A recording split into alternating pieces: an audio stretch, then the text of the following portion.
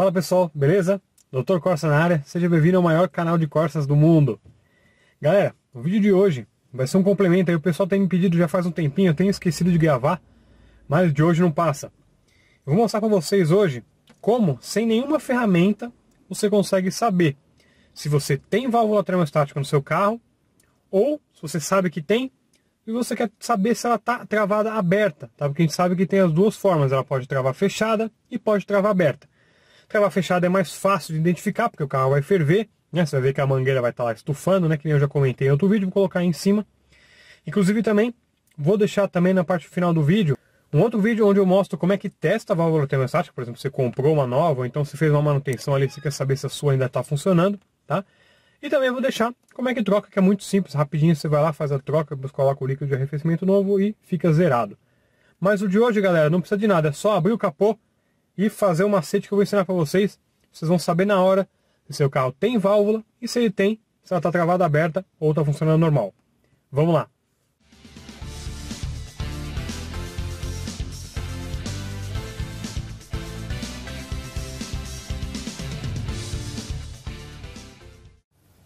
Bom, e antes da gente ir no motor, galera, já tem uma dica que você pode ir analisando já no seu dia a dia. Você dirigindo com o carro, você já vai poder ter uma noção se vai ser necessário fazer esse teste para tirar a prova ou não. E o principal, para vocês saberem mesmo, é na estrada. Por quê? Porque na estrada você vai perceber que ele mal vai sair desse lugar onde ele está agora. Ele vai chegar próximo nesse primeiro pontinho aqui. Onde já é normal, com válvula termostática e tudo mais, o carro ficar numa temperatura é, mais... É, mais fria, né? Porque tá vindo lá o vento direto da, da, da, da estrada, que você tá lá no mínimo uns 80, 90 por hora. Só que esse frio, ele vai ficar o quê? Ele vai ficar ali até mais ou menos um quarto, nessa marquinha que eu tô colocando aí, certo? Esse é mais ou menos o ideal aí. O motor não é feito, né? Não é legal, não é ideal para ele funcionar nessa temperatura, tá? Então por isso que é tão perigoso.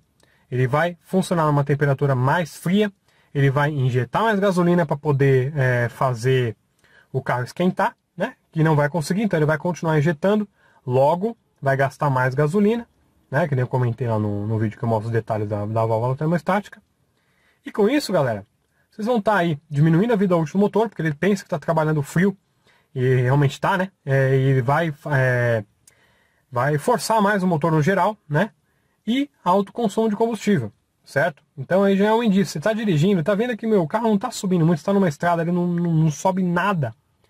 Faz esse teste que eu vou mostrar para vocês aí lá no motor, que você vai matar na hora e bora resolver esse problema. Bom, então aqui pessoal, estamos aqui no motor, tá? E esse teste, cara, ó, para valer mesmo, tá? Não pode fazer de um jeito diferente. Esse teste ele tem que ser feito com o motor frio, certo? Pega de manhã cedo, o carro ficou parado a madrugada toda lá, faz esse teste aqui que com certeza você vai saber se está funcionando ou não. Mas vai falar, pô, mas por quê? Por que, que eu não posso fazer com ele quente? Bom, vocês sabem que a válvula termostática ela tem uma temperatura certa para ela abrir certo? e fazer circular é, a água por dentro do motor. Se não me engano, do Corsa é de 82 ou 90 ou 87, não lembro agora de cabeça, mas tem lá no meu vídeo que eu comento sobre o teste dela. É, então, se você tiver já com o carro quente, na hora que você for é, ligar o carro, a válvula já vai estar aberta. Então você não vai conseguir ter certeza se seu carro tem a válvula ou se ela tem está travada aberta. Por isso que tem que estar com o motor totalmente frio, né? porque com o motor frio, se tiver a válvula termostática e ela estiver boa, ela vai estar fechada. Então a gente vai conseguir identificar aí bem, bem manualmente, sem nenhuma ferramenta, se seu carro vai ter mesmo essa válvula termostática ou se ela está travada aberta. Vou tirar esse duto aqui só para ficar mais fácil a visualização.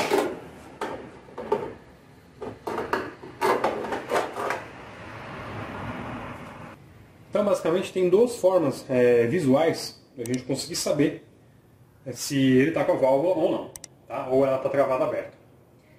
Primeiro teste que vocês vão ver, com o carro frio, vocês vão ligar o carro de vocês, certo? Depois de o carro estiver ligado, o que, que você vai perceber? O reservatório de água se ele não tiver igual o meu, né, que está quase impossível de ver aí o nível de água, mas se for possível ver o nível, é, vocês vão notar que a água está se mexendo. Tá? O que, que isso está indicando? Está indicando que há movimentação de água no sistema. Né? A gente sabe ali que o reservatório bate no ponto né, onde a água vai retornar e começar a fluir novamente no sistema.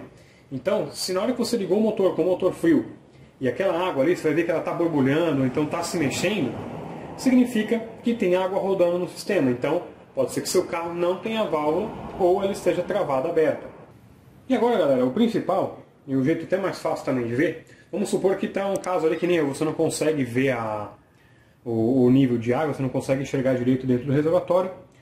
Como que você vai ver? Muito fácil, galera. Estou colocando aí ó, essas duas mangueiras, tá? É a mangueira de entrada e a mangueira de saída do radiador. Então, com o carro ligado, o que vocês vão ter que notar? Vai ser normal vocês verificarem, vamos ver, ligou o carro, vai deixar o carro ligado há uns 5 minutinhos, você vai colocar a mão aqui. E o que você vai notar?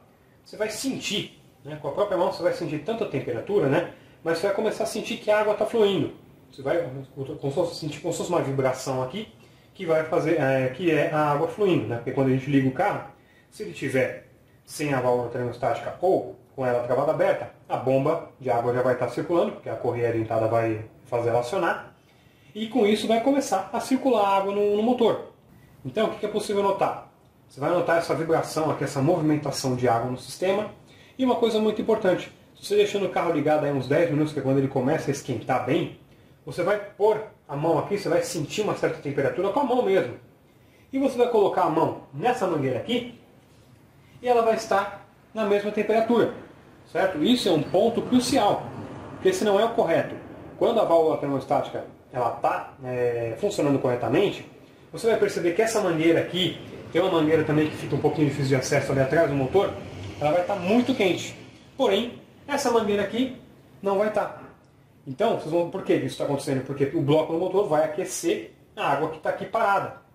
Certo? E aquela lá é a água que vem ali do reservatório, que está aqui na parte do radiador, que ela está sendo resfriada, porém não foi jogada ainda para dentro do motor porque a válvula não abriu. Então é muito importante isso, galera.